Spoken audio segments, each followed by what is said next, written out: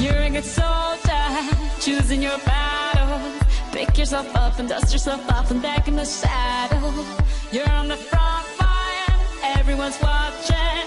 You know it's serious, we're getting closer, this isn't over. The pressure's on.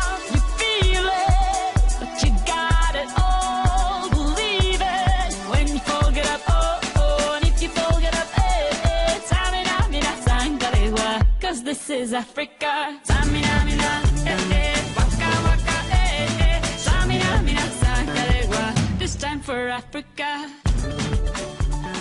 Alrighty.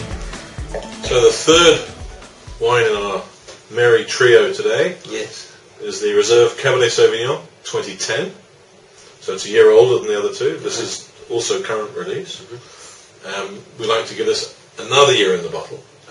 Because it's from um, beautiful old vines and the uh, the soils are um, a combination. It's called koffieklip the soil, which is um, literally means coffee stone, and it's a combination of decomposed granite and clay, Alright. and it gives us a structure which really needs the wine to, to, to, to sleep in the bottle for a couple of years.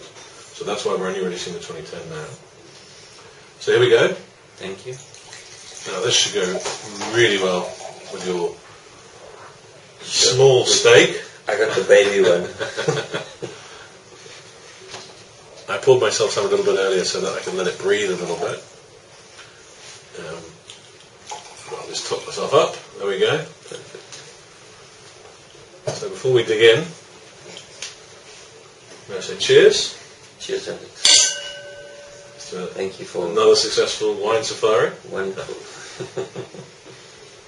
Well, that's really starting to shape up. That you really need to give, if you can, decant it. yes. Oxygenate it before drinking it. Alright. It's opened up so much since I opened it.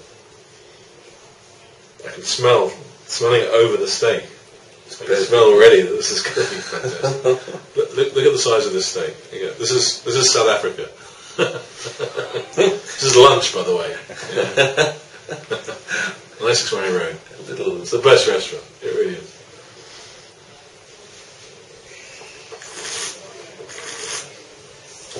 Wow. Yeah. Still, still young. It's just beginning to open up. It's lovely. Really lovely.